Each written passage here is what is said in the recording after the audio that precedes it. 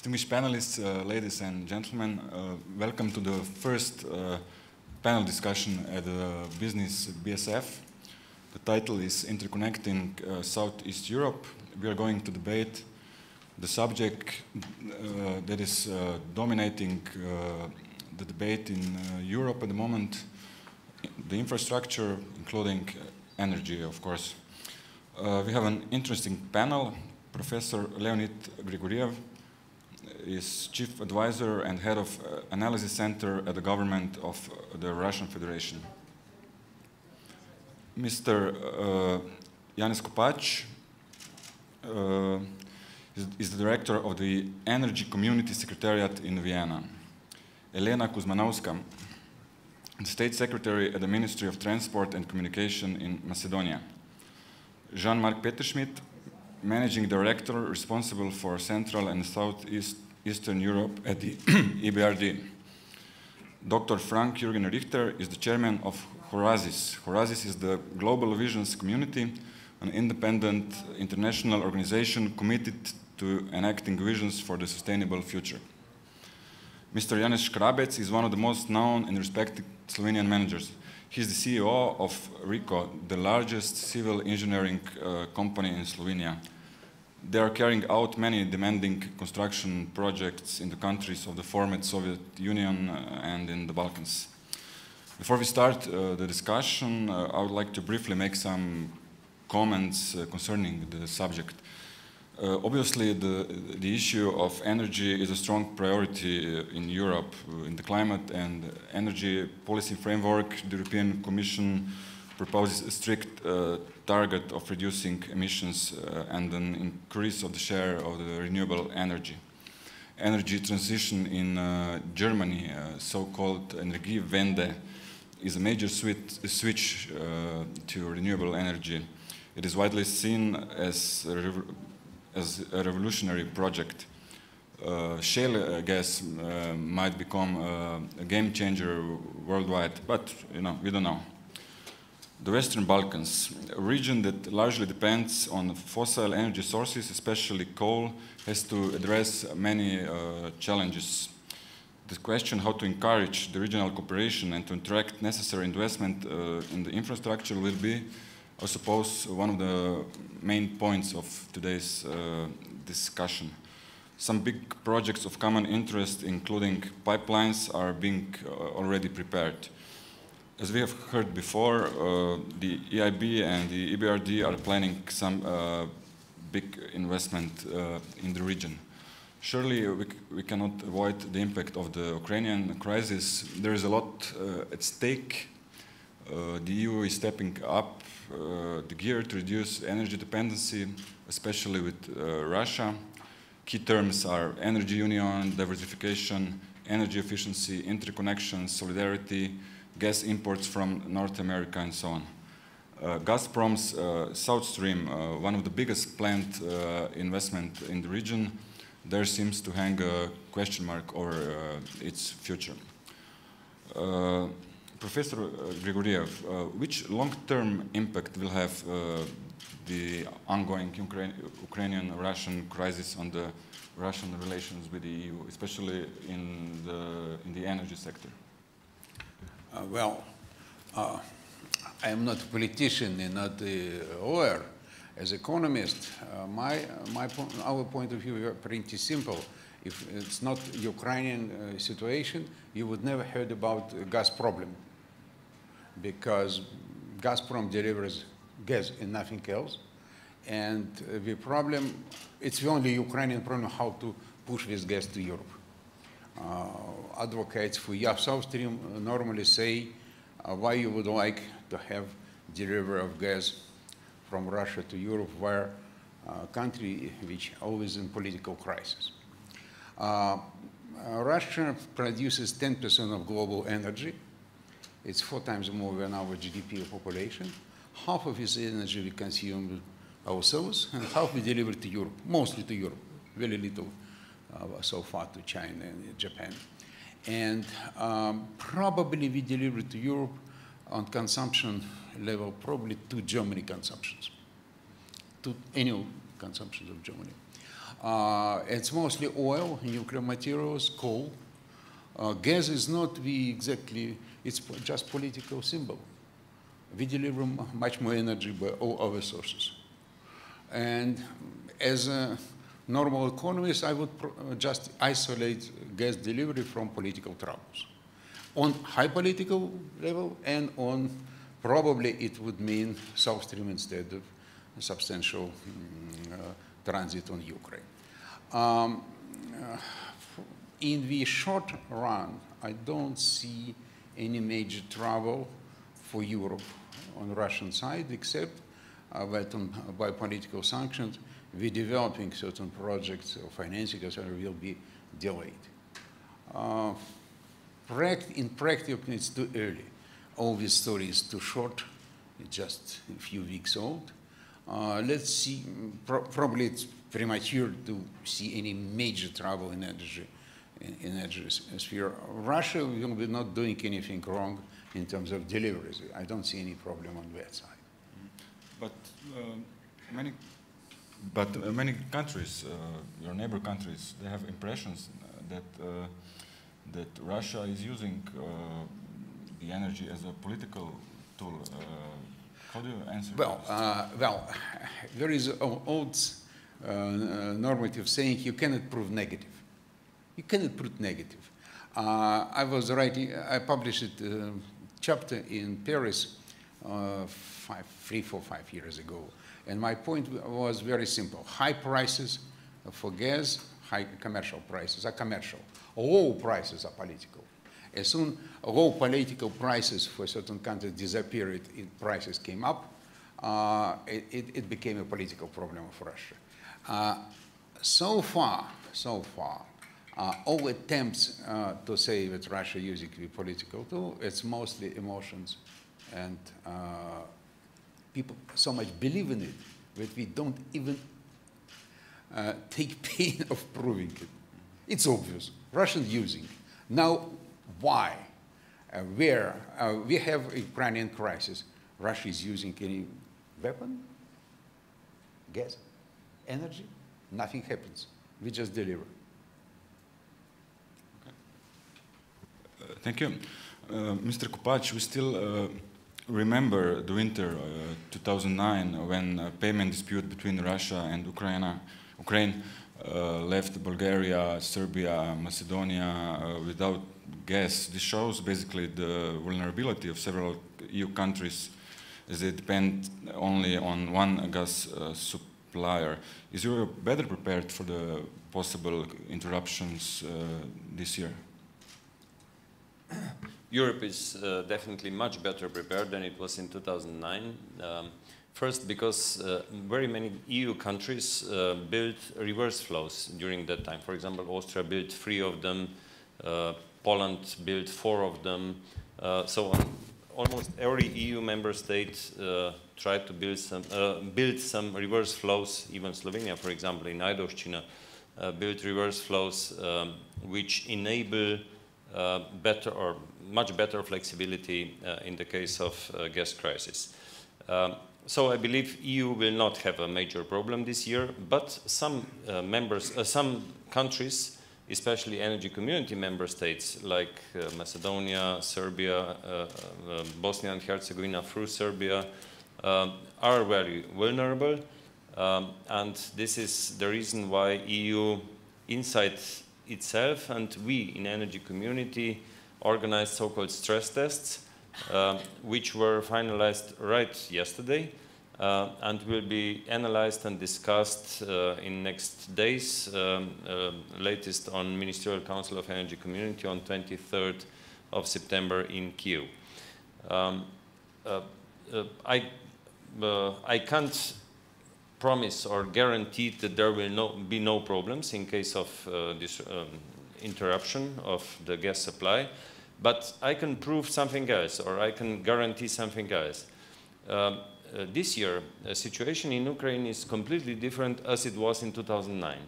In 2009, there were several disputes uh, between Russia and Ukraine, who is stealing gas, who is uh, uh keeping it for himself, who is not sending it.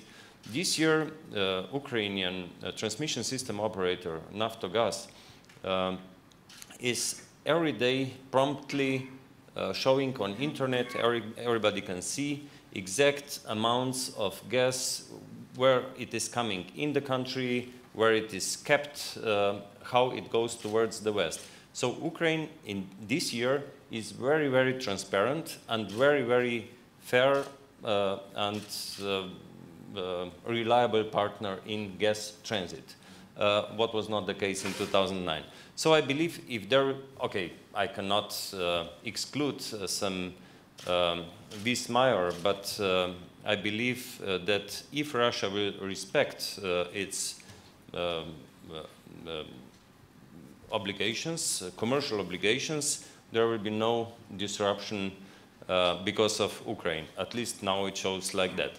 And the second thing, perhaps, um, um, if I can uh, somehow reply on, on, uh, on one statement of a professor from earlier, gas prices are uh, really used as a weapon.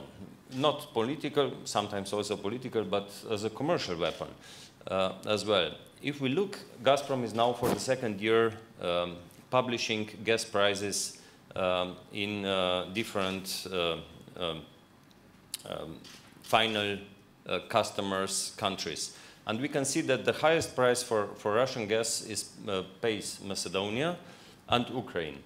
Uh, Macedonia, I think, is paying $490 per 1,000 cubic meters.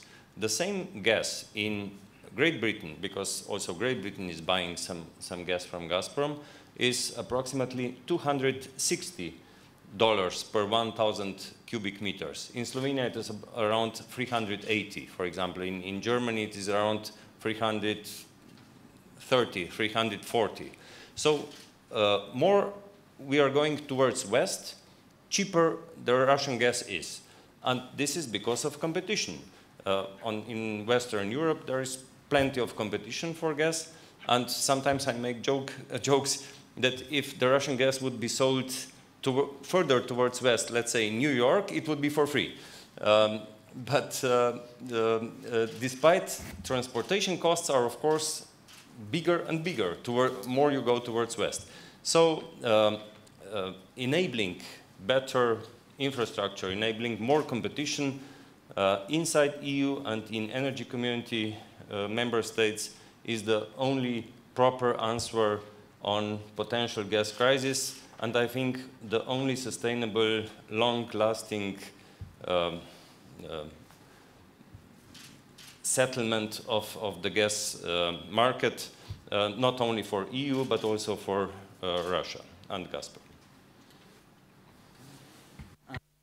Just please shortly. I, I, will not dispute. Uh, it's fine. Uh, what everything is fine.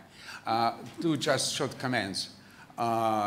Well, New York for free is exaggeration. Um, uh, uh, but on the Ukrainian situation, there is one, uh, unfortunately, there is one difficult point because for supplying Europe in winter, uh, it's necessary about 20 BCM in Ukrainian storages. And we confirm we need to, pay, uh, to buy about 5 BCM uh, additional gas now before winter. We don't do it because it costs money we don't pay us for our debt. I'm, I'm pretty happy about the situation to Europe. In 2009, I was in Kiev on TV discussing all these problems. That was a mess. Uh, now, at least European suppliers are it. But we don't know if we would be able to add to supply from Ukrainian storage because we are not doing stockpiling now. Uh, I presume Gazprom is buying uh, storage capacities all around Europe to deliver. But it would be around uh, Ukraine, not through Ukraine. So uh, we can have a system of what, how we see the technical and economic situation is, is much more complicated. Thank you. Mrs. Kuzmanovska, how do you see the situation regarding the gas supply? What does the secure supply of gas mean uh, for your country? So Uh, well, we are one of the countries that uh, have to develop gas distribution network and increase the consumption in the following years. So our consumption levels are relatively small and maybe this affects the, the level of prices the, that we are getting from the suppliers. Uh, nevertheless, it's a situation where we cannot look only at one issue. Uh, we are a small country and we are dependent on all decisions that are happening in the uh, gas initiatives in the region. So everything uh, we do, we must take into consideration every uh, happening in our surround surroundings and further. Uh, while on one hand, we need to construct the infrastructure and uh, we are negotiating with uh, EBRD for a loan to develop the entire national infrastructure. We are trying to increase the consumption by uh, publishing uh, calls for distribution network within the cities because so far household consumption is, uh, is non-existent in Macedonia. Mm-hmm. We have only three cities connected to the existing line and uh, I think annually between 100 and 130 uh, cubic meters are consumed. So while doing this, we have to see which uh, regional initiative is moving fastest. So far, it was uh, the South Stream. It, it was uh, very uh, expected from us to, to speak uh, how to connect to, to this uh, regional gas pipeline. Uh, nevertheless, all our strategic documents uh, have foreseen every single possible uh, initiative that, that can happen in our surroundings. So our distribution network is designed in such a way that if uh, there is possibility and need, and depending on the best uh, conditions that we will receive, we can connect either to Serbia or to two points in Bulgaria. One is existent, one is uh, down to Petrich, which will connect us to either existing or newly constructed uh, gas lines. Uh, in Bulgaria, two connections to Greece and uh, potentially one to Albania if some of the regional initiatives happen. In parallel to this, we need to also think about increasing the consumption in the power generation plants uh, of gas. And um, to be honest, it's rather difficult process to, to handle all the issues at the same time, uh, to trying to make the right choice. And uh, our only goal is to secure as soon as possible uh, gas consumption within the households, the industry, and the power generation plants, and to achieve it on most reasonable uh, sources, having in mind that we might not be a major player in the region, and this is clearly an example how, how we depend on uh, cooperation between our partners and uh, the trust here definitely plays a big issue. Thank you. Um, Mr. Škrabec, for you uh, as a manager, I suppose the worsening of the EU-Russia relations, uh, war in Ukraine, uh, and the sanctions spiral is like a nightmare. Uh, could you say that projects, including yours in uh, Russia, in Ukraine, are endangered? First of all, I would like to say I am very against the sanctions. You know, I think that it's very bad solution. Um, just one reason, you know, if we believe that international trade, international exchange is win-win situation, then we have to admit that uh, if you don't trade, then it's lose-lose situation, you know, and both sides are lo losing, you know. I don't know, I'm not going to say who more. Second, uh, could we do different, you know? I think the, the most important question is where is it going? Where is it headed, uh, heading, you know? Are we going to those sanctions avoid, let's say, the war, uh, uh, to get peace faster, or is it leading to the battlefield, you know? And I'm not the only one. I, the other day I just read very interesting article of Gabor Steingart. He is the German journalist in Handelsblatt, and he, his article was the titled "The West on the Wrong Way,", way and I'm, I'm, sure that we are on the wrong way. Could we act different? You know, he pointed out very interesting similarity, you know, uh, when in Berlin you faced, Berliner faced the, the wall, you know, when the, the Eastern Germans uh, started to build. What did, at that time, big leader Willy Brandt did? He didn't act like this, you know. He didn't start any sanction, although he was sometimes forced to do it, you know. And I'm, I, I'm, I see today we don't have in Europe so big leaders as Willy Brandt was at that time, you know, unfortunately. So the question, we entrepreneurs, we have to see in the problems opportunities and not opportunity, uh, not, the, that, not that the opportunities are the problems, you know. Fortunately, our strategy was always, we don't go just to the Russia, we have to cover the whole ex-USSR, since we have some advantages, you know, if you, uh, for example, we are very active in, in uh, Belarus, we are very active in Ukraine, Moldavia, etc., etc. And if you have this combination, I think that then you have much more, more opportunities. And I see right now in Belarus, where we are act, acting uh, a lot, where we are very, very active, uh, that, uh, and we are in the investment industry, very high growth in demanding uh, as far as the food industry is concerned, you know, meat, dairy, you know, beverages, you know, since they cannot get, uh, the Russians are not, not getting the, the meat, the dairy products from Western Europe. And I think here, if something we are losing in Russia, we are gaining in Belarus. Another story, uh, the other day from Ukraine, uh, there were uh, from Ukr, Promenergo, people were in Slovenia. We are doing in Belarus transformation station, for example, you know, we were not able to come to enter the U Ukraine because in uh, Zaporozhye was very strong transform uh, uh, factory for transformations, but in the hands of the Russians, you know. Now they came to us because they don't want to work anymore with this company and um, offering us that we would replace, replace them.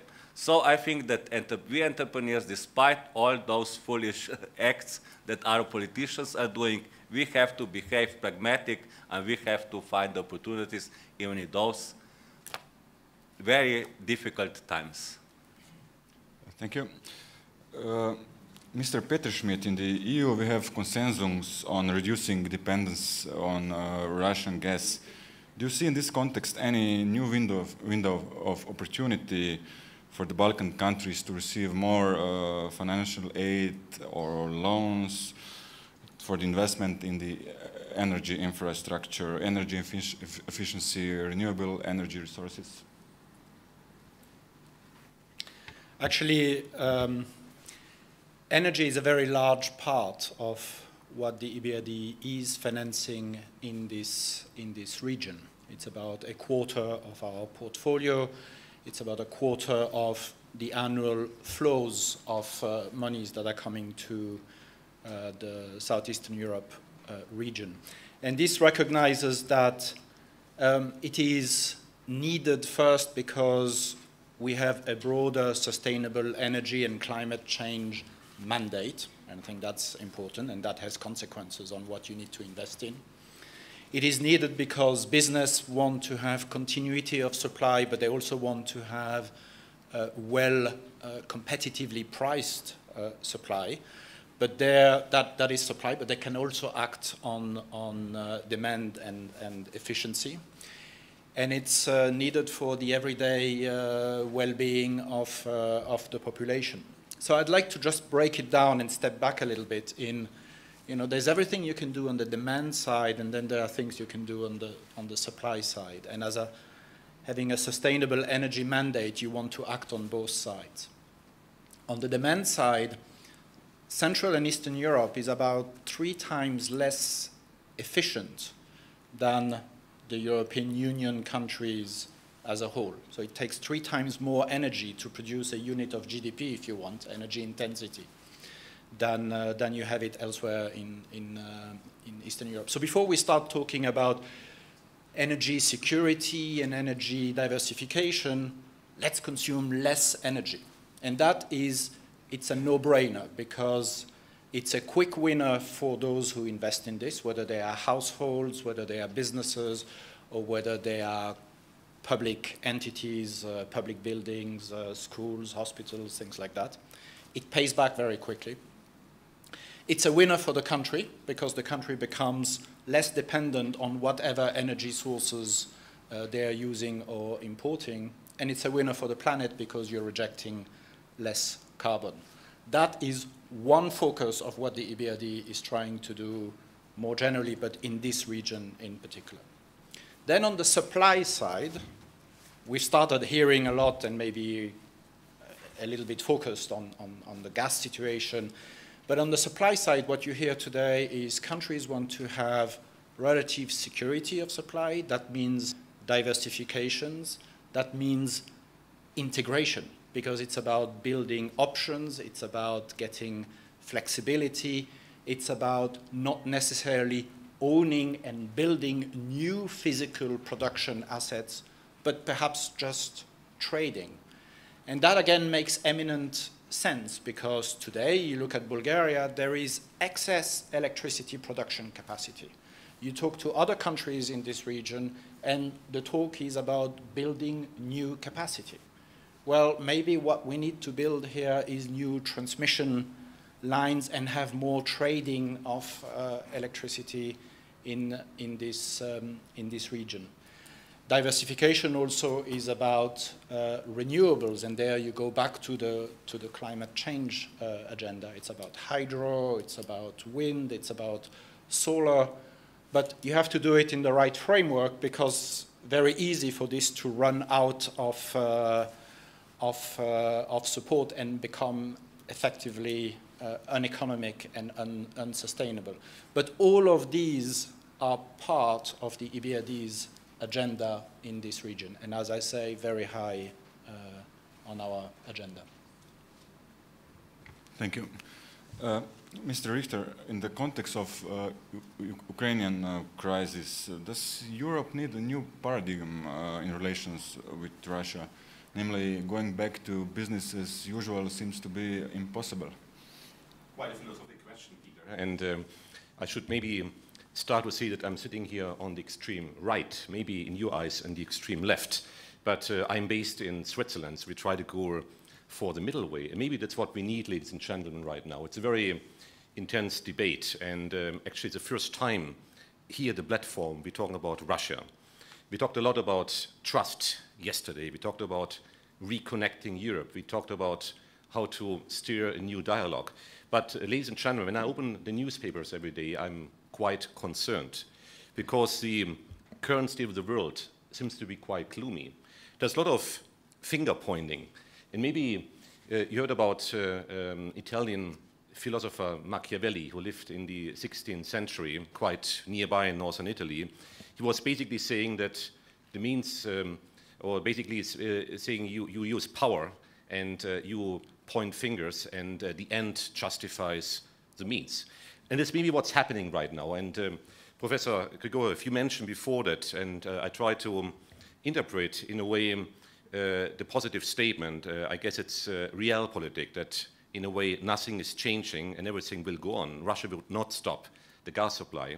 And um, uh, I hope to share this view, but um, in um, practical terms, ladies and gentlemen, I think we are really facing a big crisis. We are commemorating the 100th um, anniversary of the um, outbreak of the First World War, and uh, just 100 years ago, we faced actually quite a similar situation. Finger pointing, uh, powers just saying, you know, we are not moving, we are putting red line, and suddenly something is happening, and it's a very, very dangerous situation. Maybe, and Janez would like to comment on your view as an entrepreneur, we need uh, to be pragmatic.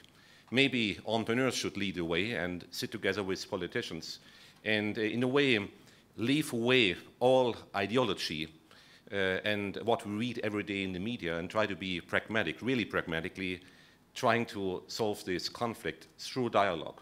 And maybe coming to the Ukrainian crisis, as it's a quite uh, you know, down-to-earth panel, we can say whatever we want. Uh, we want to um, try to um, face the situation. What maybe we should do is to get everybody on one table, uh, starting with uh, Mr. Putin, um, the American president, European leaders, uh, and of course Ukraine itself, and see what uh, kind of compromise could we go for.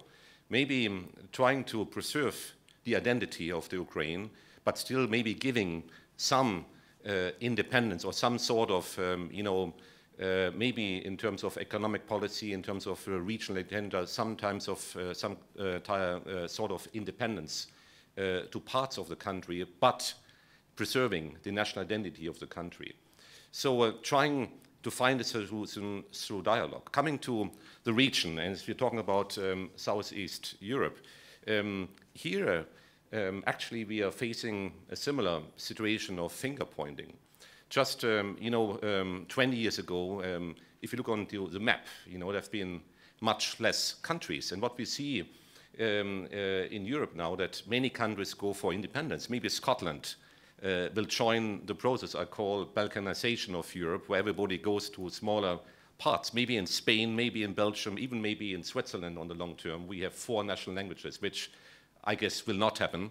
But um, uh, in this context, maybe um, uh, the term of globalization and the concept of globalization comes to an end. Maybe you know uh, Francis Fukuyama's theory of uh, the end of history uh, 20 years ago, saying you know the uh, the capitalism, the free world, globalization is um, on the winning side, and you know we can't go back in history.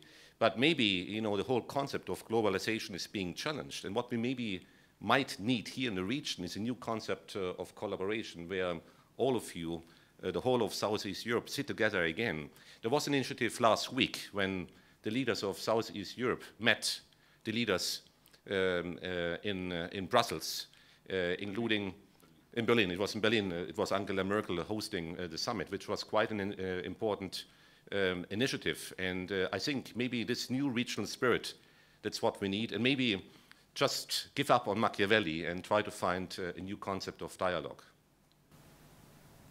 Frank Jürgen, thank you very much. Uh, Professor Grigoryev, from the Ukrainian uh, point of view, uh, is the project South Stream uh, largely designed to exert pressure uh, on Ukraine? In contrast, in Southeast Europe, it is perceived positively as the strategic investment with positive long-term effects. Uh, how do you see the prospects of the South Stream in new uh, circumstances? How do you see this European or debate? Uh, well, uh, our Russian new pipelines to Europe were invented before the Great Recession. Uh, this audience, six years ago, in early 2008, would ask me completely different question. And I did it for years before the recession. Are you Russian investing enough to supply additional 100 or 200 BCM to the current contracts? So we put money in the new development, in the pipeline projects. Here a recession comes, and uh, the uh, Eurozone in the zero growth for years, and European consumption of gas down for two reasons. One is recession, uh, another is switching from gas to coal, and substantial switching to, to coal. And carbon price is down, and if uh, next three years, uh, hopefully Europe would go up on some economic growth from zero to say 1% or even 2%, plus carbon price up, and switching back from coal to gas, you will need gas. You, you, you in this case, the whole European Union. Uh, so Russians are taking, uh, Russians, well, I follow the kind of wrong way. Uh, Gazprom, I'm not saying for Russians or for Russian state. Gazprom is taking the com huge commercial risk to build a pipeline which was designed for additional supply originally. Uh, and the same uh, basically for Nord Stream. Uh, Nord Stream was, uh, uh, was under the fire for a couple of years. After that, everything is fine. Nobody remembers uh, how many stupidities were said about Nord Stream. It works.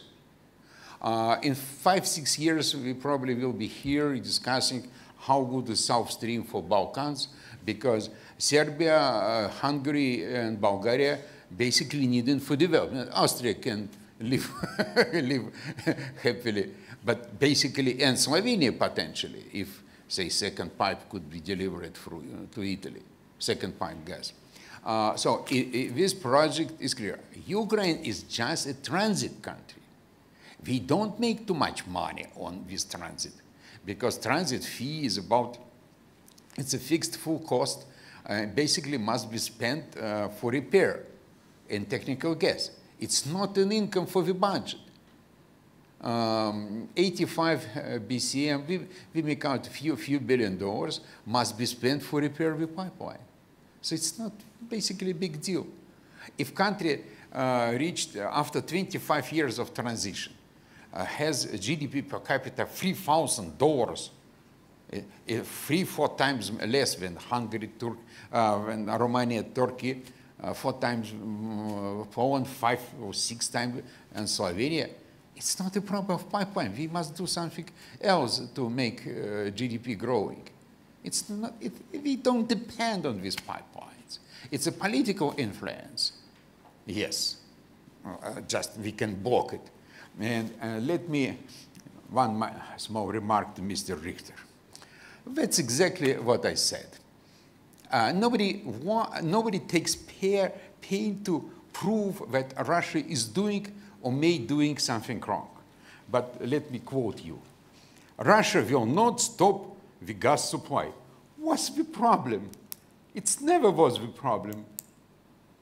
We just supply. If you mean 2009, that was stopped to Ukraine, not to Europe. And uh, right now we stop to Ukraine, and we clear enough, thanks God, not to uh, block the supply. At that time, we make the reverse by the same uh, export pipelines. And PR was completely terrible on Russian side, and displaying the switching off. But You're right, Professor. Even during the Cold War, Russia never stopped uh, the gas supply. But it would be very Ukraine. No, I think Russia never stopped the gas supply during the Cold War.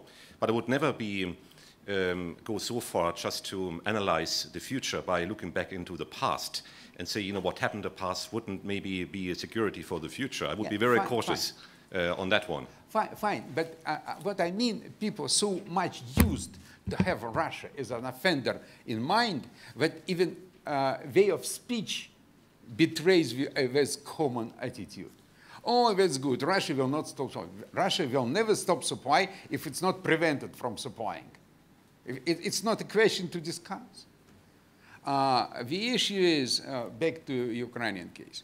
Uh, let's imagine the ultimate case. South Stream built, uh, no gas or, or, very little gas goes from Ukrainian pipes to Europe. Europe will never notice it. Just never notice it. It's not a problem for Europe at all. What does it mean, pressure on Ukraine? To do what? Uh, we will lose uh, some uh, uh, assets. We, you just uh, quoted how we are losing assets. We will not be supplied by uh, some stations from Zaporozhye Russian enterprise. Fine. So it adds to manufacturing decline on Ukraine.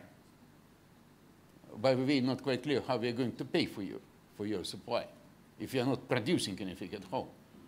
The um, July numbers are minus 12% on industrial production. Um, I think GDP in Ukraine this year is minus 10%. Official numbers, Ukrainian numbers minus minus 6, EBRD, our sources give about minus 7, minus 8. Without counting we fall. It's going to be minus 10. If country is not producing, how it's paying, how it's developing. Uh, let's imagine no crisis on Ukraine this year, just normal economy. Uh, to reach Poland in 2030, 2030, Poland, saying Poland is growing three and a half, three and a half percent as before, as recently years. Ukraine would need 8.5% growth for 17 years. Uh, it's not the case already because it's minus 10. We are talking about very difficult economic situation in Ukraine. And uh, what basically Russian economists, not government, economists were telling Ukrainians and Europeans that uh, the only way for Ukraine to stay well-developed country is to sell to two markets, European and Russian, because we were buying everything sophisticated. Europe is not. To keep uh, any level of sophisticated industrial of manufacturing in U Ukraine, it's, it's, it's, it's export, exporting to Russia. Otherwise, it's just impossible. Uh, so gas pipeline is completely artificial case to discuss on Ukraine at all. It's a special political case created by politicians. It has nothing to do with economy. It, it doesn't create Ukrainian economy. It, uh, and Ukrainian economy will live without pipelines, uh, transit pipelines. It's not a problem for the whole Europe, the whole world to discuss Ukrainian pipelines. Deliver and, and forget it. Uh, if you, uh, for, if it creates the trouble, if it's creates the trouble, okay, we go other ways, one or another way. So for, from, from, uh, from professional uh, side, uh, it's not, it's not a problem. It's strictly political we are trying to avoid. And the more politics on Ukraine, the less Ukrainian development. Okay, I think we have to admit that uh, the energy is not only an economic good, it is also part of the, security. Mr. Kopač, uh, regarding uh, the South Stream, uh, what do you think, what is the, the, the main problem? EU legislation or maybe politics? Uh, South Stream is, uh, has always been a welcome project even in EU, uh, but only if it would follow um, the EU legislation or so-called third energy package, what means um, uh, that every pipeline that is built has to be offered on a so-called free season to every potential user, that the tariffs have, have to be established by independent energy regulator that is, exists in every EU uh, member state, uh, and uh, that uh, the producer or the, the trader of gas uh, cannot be more than 50% owner of such a uh, gas pipeline. Uh, this uh, th so-called third energy package was adopted just to prevent competition inside EU. And um, I have to say that I don't understand Russians or, or Gazprom, because in case of Slovenia, we negotiated uh, an intergovernmental agreement that follows the third energy package. And this was the first case ever that Russia, in, as a state, admitted or recognized the third energy package. And then they copied this and they uh, repeated it in the intergovernmental agreement with the Republic of Austria. In all other EU member states and energy community member states, Macedonia, Bulgaria, Hungary, Serbia, Greece, uh, intergovernmental agreements are opposite, are, are not in line with uh, uh, so-called third energy package. And Russia, of course, insists on not respecting uh, so-called third energy package. Um, the reason I can only imagine, the region is, could be kind of an imperial. They want to have uh, an exemption forever because European uh, Union allows exemption for investors. And for example, just to tell you one example with which I'm familiar, because uh, we as Energy Community Secretariat approved uh, an exemption. It is TAP, Trans-Adriatic Pipeline, that should go from, um, through, from Azerbaijan, through Georgia, Turkey, uh, Greece, Albania to southern Italy for approximately 10 billion cubic meters, what is uh, approximately the same amount or the same quantity or the same volume as it was in, uh, initially planned for South Stream uh, through Slovenia towards northern Italy. Uh, investors asked for an exemption because they said, we need a monopoly um, uh, to return our investment. And we said, okay, but they had to, to prove this uh, need for an exemption, and they got an exemption for 15 years. um, and so for 15 years, they can keep monopoly. But Gazprom would like to keep an exemption for 100 years, not for 15 only. And I'm completely sure that if Gazprom would ask officially for such an exemption, it would get it in a month or two. Even now, despite Ukrainian-Russian crisis, but Gazprom doesn't want to ask to respect European legislation because they, they, have, they want an exemption forever. Um, or I can only imagine that this is the reason. So uh, South Stream, uh, I believe, is very realistic project, not for Slovenia at all, but uh, uh to come into Europe, but only respecting the EU legislation. Otherwise, uh, I'm completely sure European Commission will be very strict against Bulgaria or any other entry point on the territory of European Union. And saying uh, something about South Stream and Ukraine.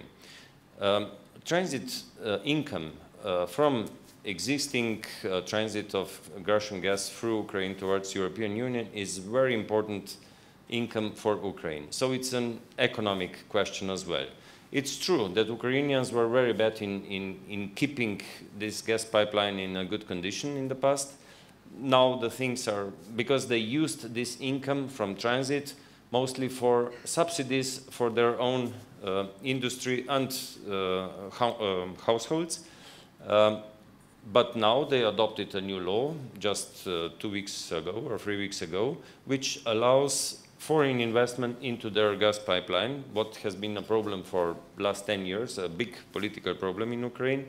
And uh, they, they stated in this law that every country, company that is based in EU or in energy community member states can become 49% owner or co-owner of this um, um, uh, gas pipelines. And for example, Naftna Industrija Serbia, which is in ownership of uh, Gazprom or majority ownership of Gazprom, could, for example, become 49% owner because Serbia is member of energy community, uh, could become uh, uh an, a co-owner of uh, um, uh, gas pipelines, transit gas pipelines through Ukraine.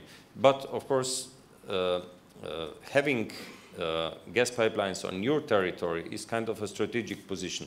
And there are bigger games uh, which are not related with gas supply, with commercial issues, but with, I believe, um, long-lasting uh, uh, political strategy. Um, so gas uh, South Stream has always been geostrategic project, never very, very economically proved, but doesn't matter. Even uh, Nord Stream was uh, not economically proved, but on a long period, I believe it will, that the investment will return uh, and Russia is a big country and Gazprom is a big company and they can wait on, uh, on this long term. Um, th this is the fact. Uh, so South Stream is very possible, but uh, respecting EU legal uh, framework. Mr. Peterschmitt, uh, we know infrastructure and investments in general are key to growth and prosperity. But uh, sometimes it is, uh, it is not so easy to figure out uh, what to invest in. Uh, what should be a priority in the, Balkan, in the Balkans, especially because of the fact that, that governments do not have enough money even to uh, co-finance uh, the international projects.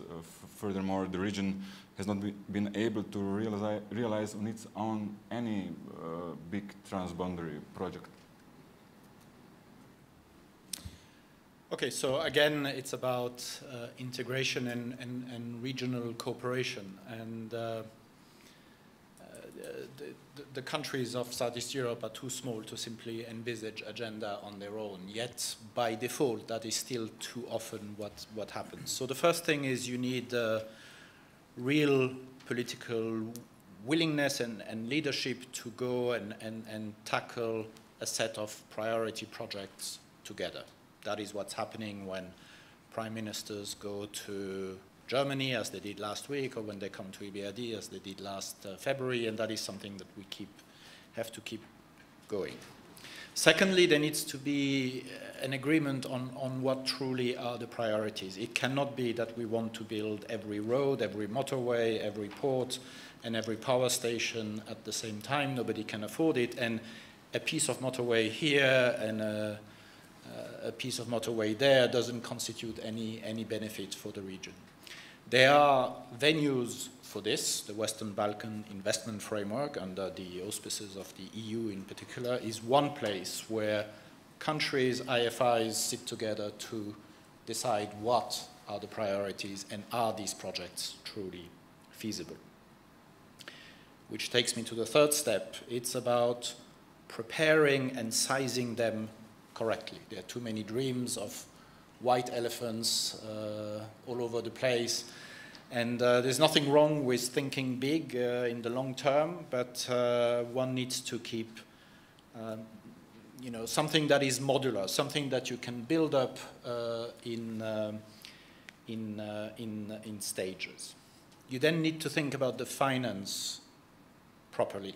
And uh, many of these projects are sitting on government balance sheets. They are public uh, projects, and I think we can there is necessarily a constraint because there's also a need to have prudent fiscal uh, management. You cannot run your debt to GDP uh, um, uh, without due consideration for for uh, the soundness of your of your government uh, balance sheet. So there's a need to think how can you build infrastructure and energy away from the public sector? How can you commercialize the companies uh, they might still be public companies, but instead of doing it with a government sovereign guarantee, you do it as a commercial loan on the corporate balance sheet of a road, a motorway company, or an electricity company.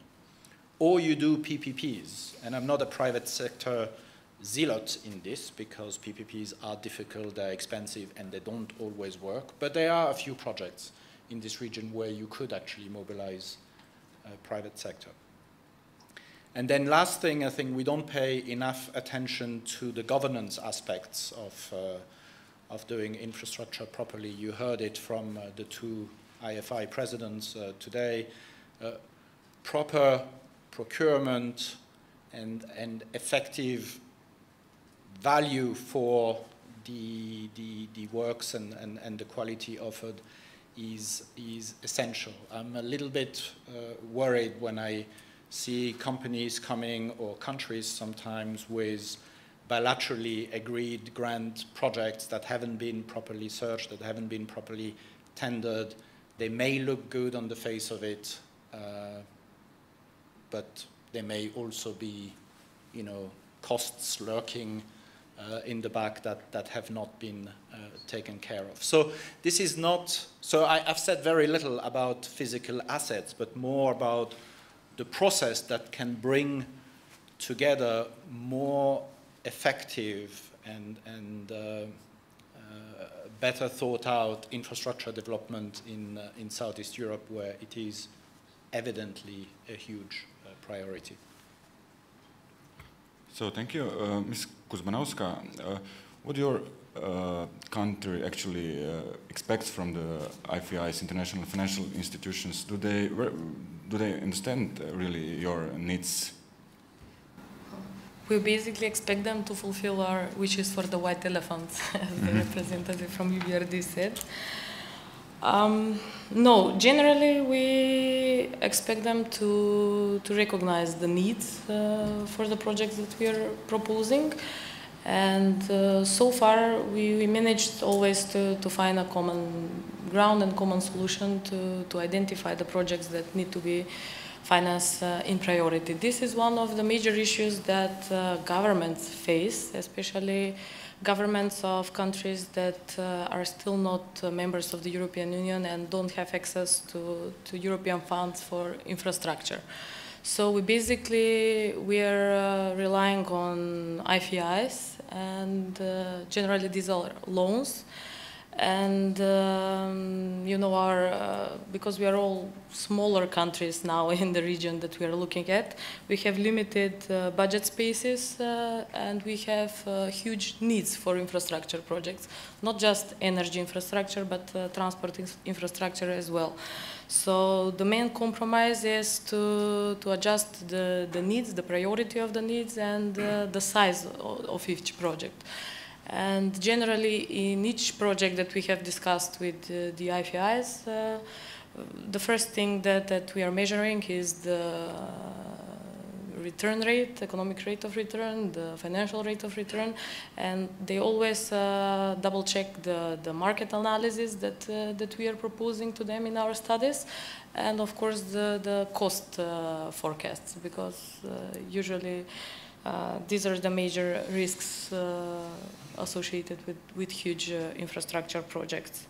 So we as governments usually always like to, to look at a little bit brighter pictures and more optimistic scenarios, but uh, uh, in accordance with the bank, we, we always manage to, to, to find the dynamics and size of projects that, that are probably more realistic. Uh, okay, thank you. Mr. Škrabec, uh, I think you have uh, a lot of experience uh, in the region. There's a lot of criticism that you know uh, uh, governance in the region is not really good. That there's a lot of uh, corruption. what is your experience? Is there really are decision makers in the region really so corrupted? First, I would like to connect. I'd like to connect myself to the Frank Jürgen uh, thesis, you know, you said that we need new, new paradigm in collaboration in this region, in the South Europe region. Uh, I would say we need just to confess that we used to live together for the last 70 years. We shouldn't forget, uh, because we wanted to neglect our history, you know. We, uh, this meeting, this uh, today Blitz, uh, Blitz Strategic Forum is good that we are talking about the trust. But I hope that next year we are going to talk about the respect.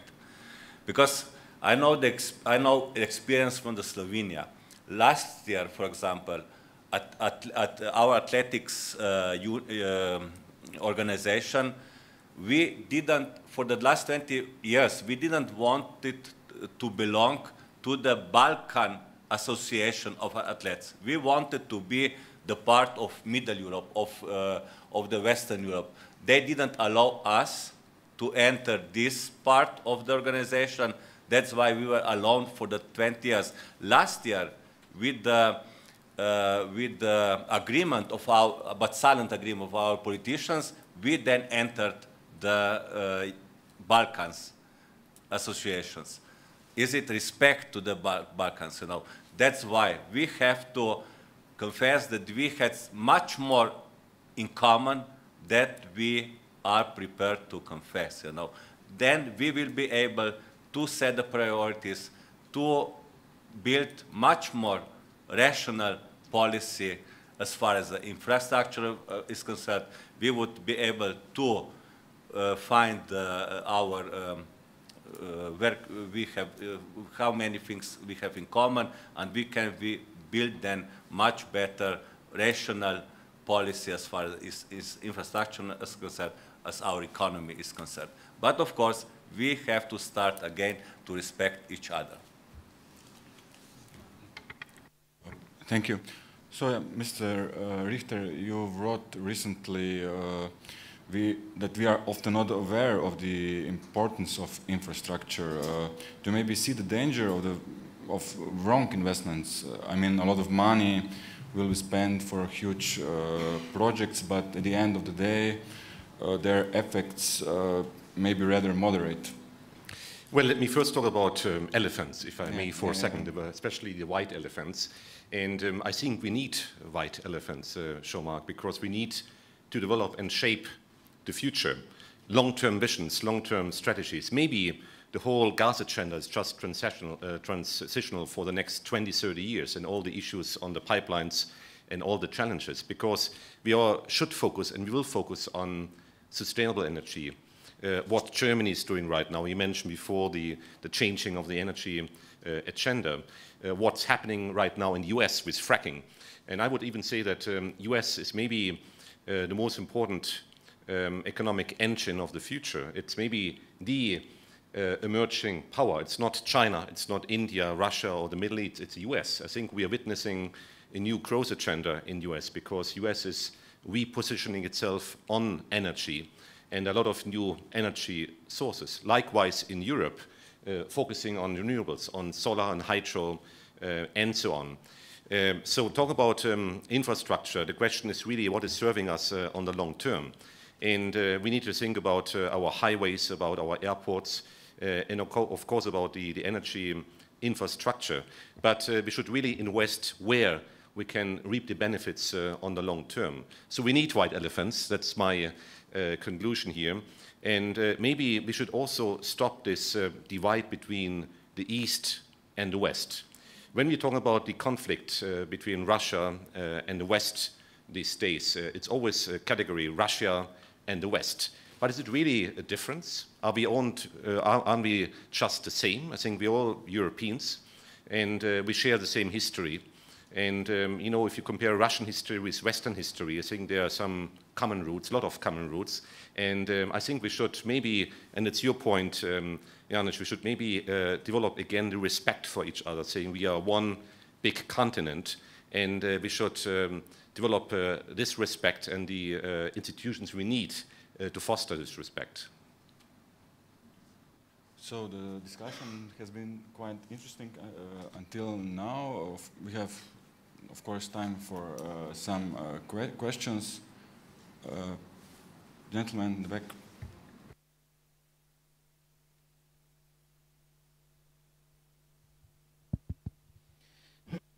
Thank you very much. Uh, ladies and gentlemen, my name is István Szabó, coming from the Ministry of Foreign Affairs and Trade of Budapest.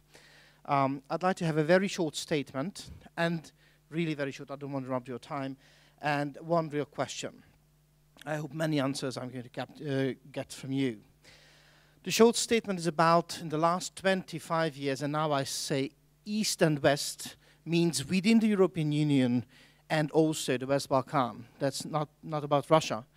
Uh, in the last 25 years, the interconnectivity in Europe has been done east, west, west, east, which means we have the interconnection where the west could reach the markets in the east, new upcoming countries to the European Union. Second statement, if you have a look of the, for example, gas pipelines, oil pipelines, or highways, or train track, whatever, north, south, south, north, here in the eastern side, let's say eastern central side of Europe, let's say the V4 countries, Slovenia, Croatia, whatever, almost nothing has been done. A short sidestep, 2008, 2009 gas crisis, and the result uh, the impact is that we start to make interconnections. Now, this was the statement, what I said, and now the question. About the generally diversification possibilities, let's say only gas pipelines, diversification. We know diversification of road, which means we choose another country that should be, for example, South Stream. We have diversification of molecules that tap what we see, something which is coming from uh, Azerbaijan, let's say, and then, or Shah and then it's coming uh, towards to Europe, which means an, a different molecule. That's a diversification of molecule, let's say a source diversification. And the last thing should be the diversification of price. And it's a very important moment since we have been speaking about, and one of you already mentioned, the further you go to the west, the cheaper the Russian gas is, which is quite an interesting fact.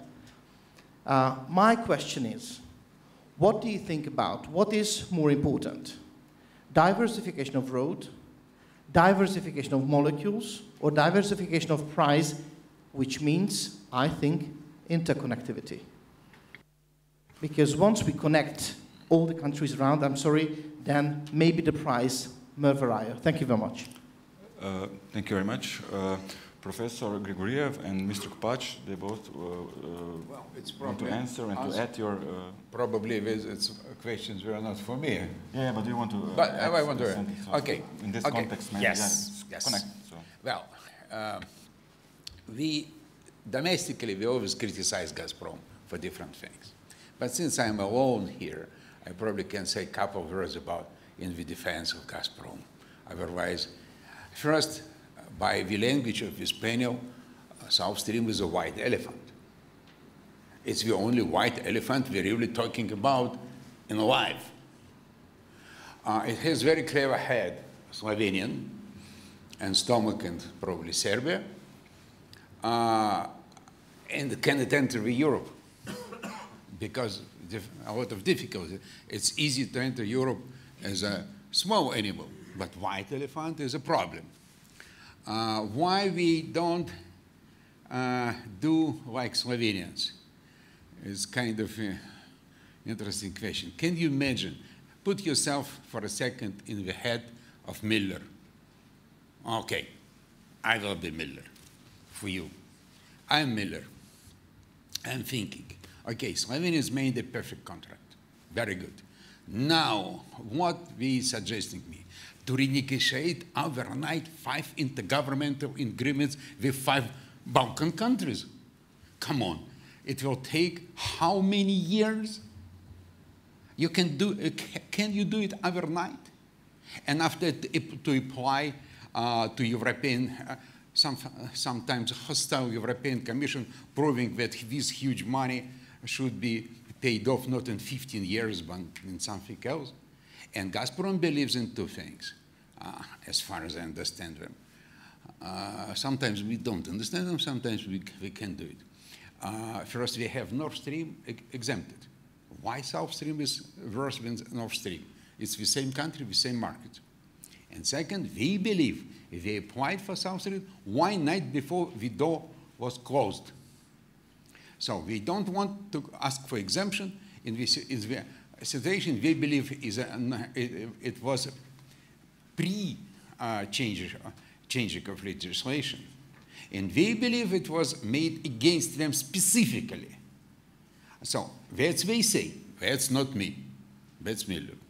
Well, I probably never, he never said it publicly, but Gazprom people said it many times.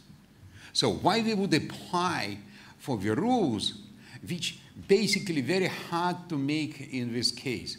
Uh, in Slovenia it's easy, but to, to move all this uh, uh, gas from inside Russia via the whole Black Sea and proving where I'm vital elephant, let me in.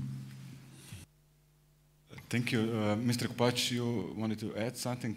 So we are quite pressed by time. Please, Yeah, yeah. short Uh, and concise. Okay, the question was about the diversification. Um, uh, first, I would say uh, the most proper answer is diversification of routes. Um, uh, I think this is the first step. And European Union uh, is trying now to answer or to, to make this first step with so-called projects of common interest, uh, PCIs, uh, inside so-called uh, program of connecting European facility, which has quite a lot of money for energy projects, 5 billion euros, 5.1 from now till 2020.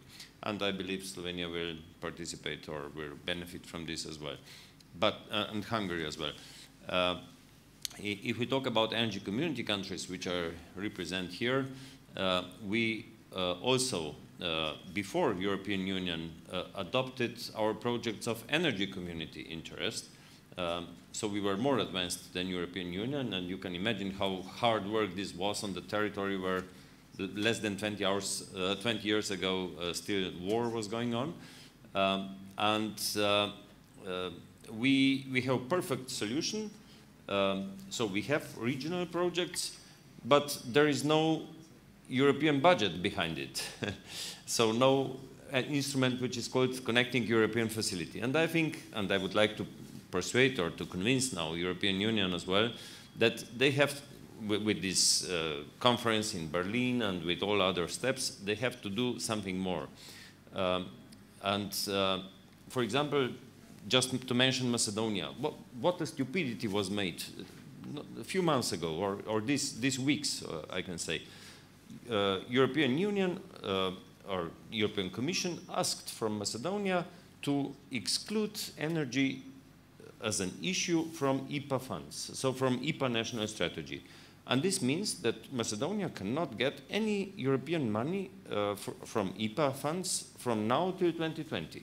What, what a stupidity. On one side, they are, of course, supporting projects of energy community interest and all blah blah, energy efficiency, European EBRD and EIB are in, um, active and so on. And on, on the other side, some officials there are, are making such stupidities. But okay, I'm not going now deeper into this. So only one message, what is necessary, I believe, is uh, to enable or to transform Western Balkans investment framework, so a uh, financial instrument which we already have, into co-financing instrument uh, for, for infrastructure purposes. Uh, and second, what is needed is to establish risk enhancement or risk mitigation uh, facility for uh, European neighborhood. Uh, because in EU, you don't have these political risks. Uh, uh, but, uh, okay, now in Bulgaria with this, let's say, because they're um, decreasing prices, electricity prices, and, and putting this burden on, on investors. but, okay, Bulgaria is not a representative of EU. In EU countries, you don't have political risks. In energy community member states, you have plenty of political risks.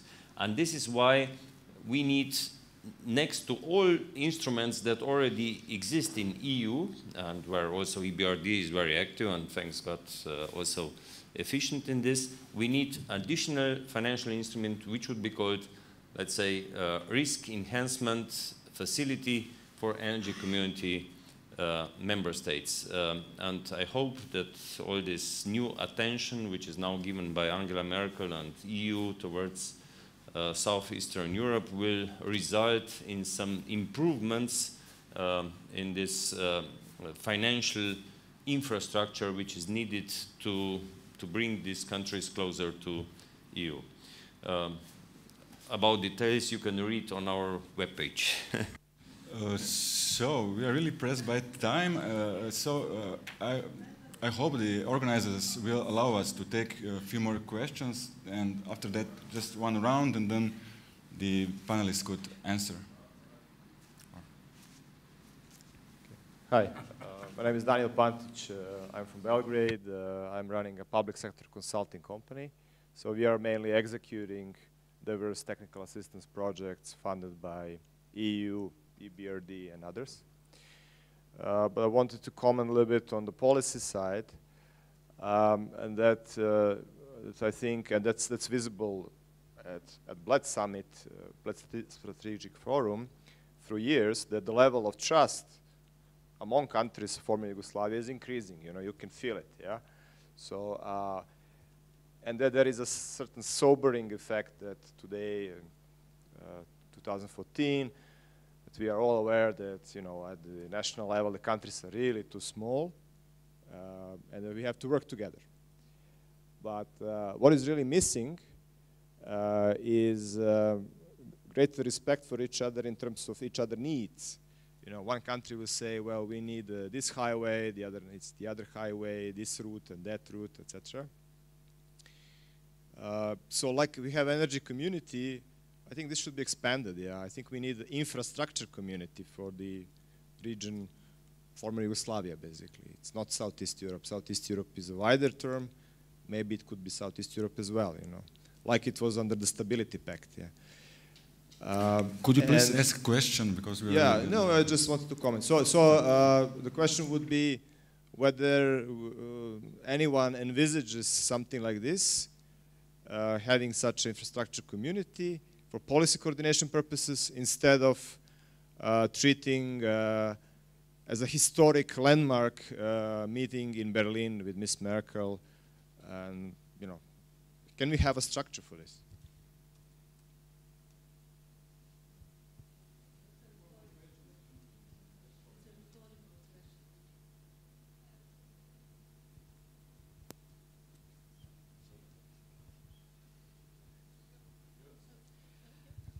Let me. So, uh, sorry, please uh, really be uh, concise and short because. I will be very short and very, I hope, concise. Uh, congratulate for your comments and whatever you. But I feel sorry we didn't discuss more how to encourage other way of cooperation in the region. We were, you were talking mainly about the infrastructure projects, which are mainly, sorry, public sector or public finance uh, projects. And I believe in this area we have plenty of small countries and we need, if we want to gain some power in the world, in this global economy, we have to cooperate in the investment area, in the, I don't know, not necessarily investing, but working companies together in the automotive, pharmaceutical, many other areas. Tourism, for example, it's difficult to sell Slovenia, but it's easy to sell the whole region.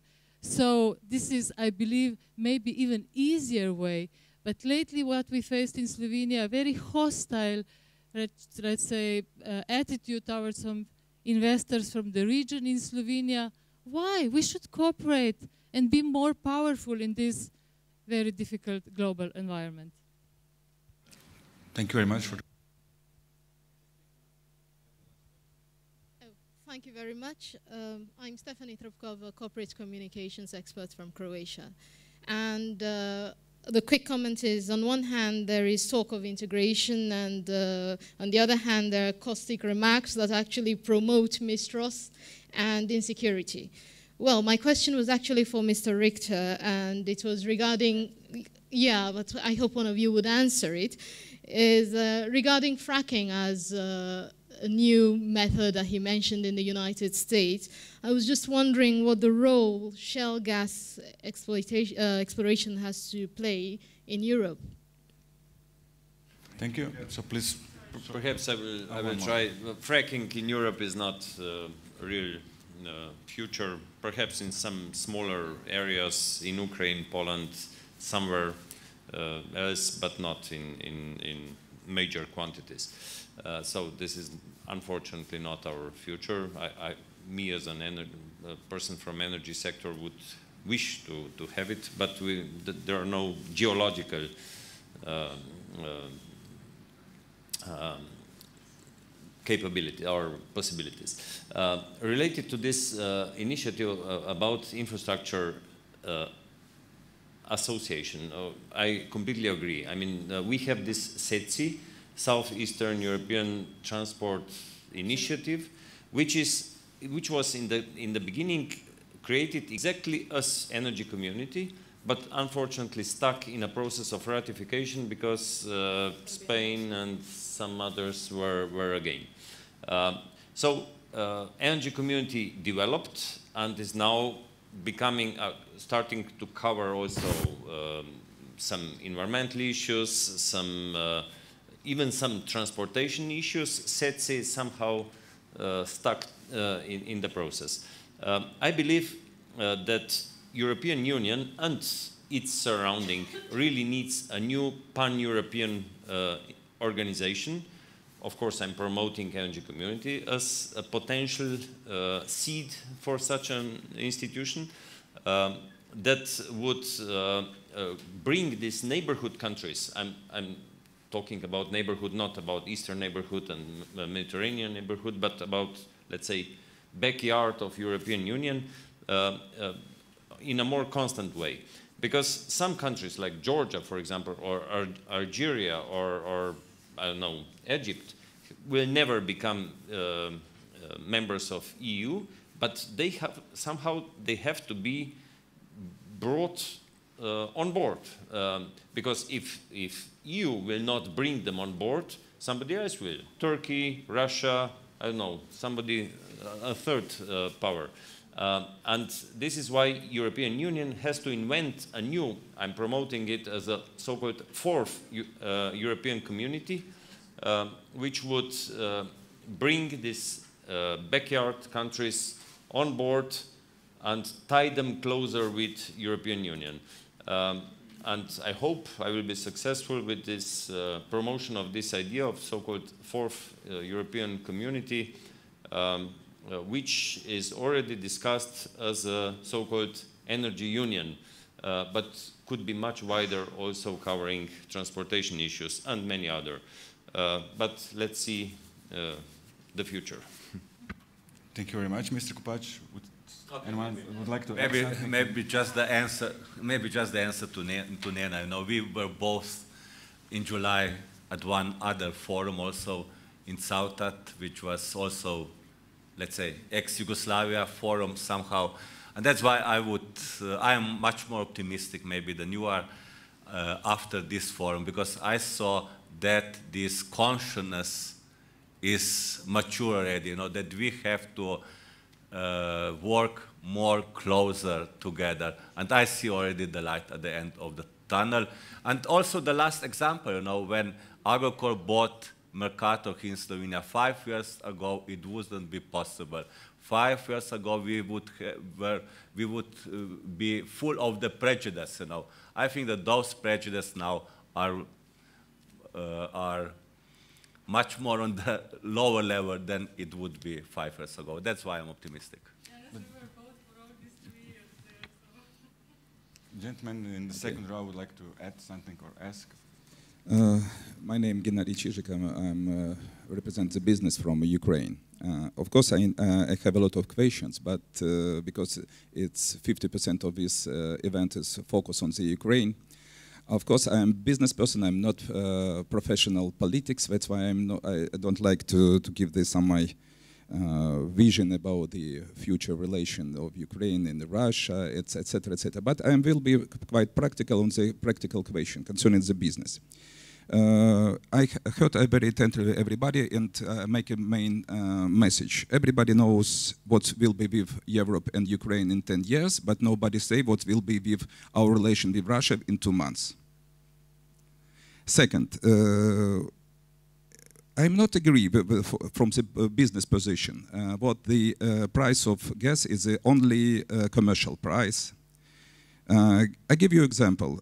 Ten years ago in Ukraine, the price was fifty dollars per cubic meter, thousand cubic meter. Now practically ten times more. Should me show me the price of goods in the world uh, during ten years ten times more. Second, uh, when we talk about the sanction, I agree. Sanction is not a business process. Business should be out, out of this. But I would like to uh, give the concerning the uh, sanctions. You, you mentioned concerning the Mr. Chancellor Brandt, the situation between uh, Euro, uh, Europe and the Soviet Union. But remind me one uh, agreement what Soviet Union destroy uh, during uh, their period of communication with Europe. I give you only one example: was this uh, uh, agreement was destroyed or not uh, very polite to this uh, the Budapest Agreement, where a very clear road, right, right, the uh, Ukrainian eternity. It should be like we have four countries who should protect the Ukrainian eternity. Thank you. Uh, And final question, uh, crisis. Uh, I think when we talk about the crisis, crisis is a little bit personal point. But it's very difficult to say about the crisis. We've opened uh, uh, borders for uh, heavy weapons from uh, one country. Because I, I- I give you very interesting information. In Lugansk, in Donetsk, not working the airport. Everything is understandable. Thank you very much.